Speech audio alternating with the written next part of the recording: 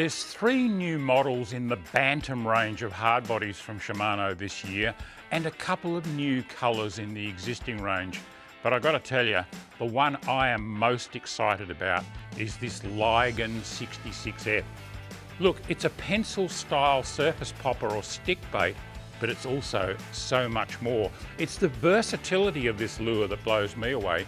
You can fish it in so many different styles depending on what the conditions are. You can straight retrieve it, you can walk the dog with it, you can pop it and stop it, or you can just tremble it on the spot and let that flash boost mirror work its blinking, winking magic to convince even the most cautious fish to bite but there's one more option as well. By speeding up your retrieve and keeping the tip well down, you can actually make this lure dive a couple of centimetres and walk the dog under the surface. How good is that? The Ligen comes in eight unique colours and has a pair of sticky sharp treble hooks.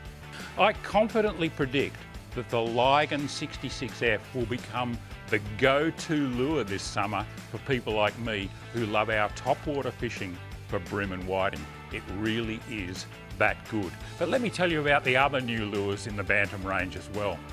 Next up is the Undulator 88F. Now this is a floating vibe and that might seem a little strange at first glance. What applications would there be for a floating vibe? I wondered myself until I swum this thing. I'm absolutely blown away by it and I can now see so many different applications for it. It dives when you retrieve it or when you stab the rod tip. You can actually get it down to about two metres and then as soon as you pause, it rises up tail first through the water column all the way to the surface if you let it. What that means is that you can work it over country where you couldn't possibly work any other hard-bodied lure. Crank it down in the deeper areas, let it float up over the snags or the rock bars, walk it through the shallows, and then dive it down again, all without getting hung up on the bottom. I can see a lot of applications for this. Big flathead up on the flats, of course, but also things like mangrove jacks and barramundi up in those snake drains and around the snags. The more I use it, the more options I'm seeing for this one. The Bantam undulator also comes in eight colours. It'll really do the job on a bunch of our estuary species as well as in freshwater right around the country. Definitely worth checking out.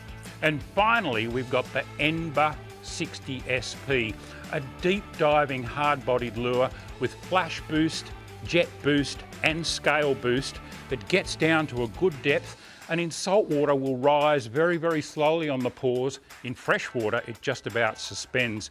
It's got the body shape to mimic a lot of our most popular baitfish species, and this is going to catch everything from bass to trout to redfin to bream, you name it. If it eats baitfish that size, it'll eat one of these. Anglers will also find that the Enber is a great trolling lure. I'm really looking forward to trolling some of these in our big lakes for trout. In addition to those three completely new hard bodies, there are also two new colours in the Armajoint and BT Force lures. This beautiful high contrast midnight chartreuse and purple gill. what a great redfin copy that is. Look, you can check all of these new Bantam hard bodies out at your favourite tackle shop or online on the Shimano website.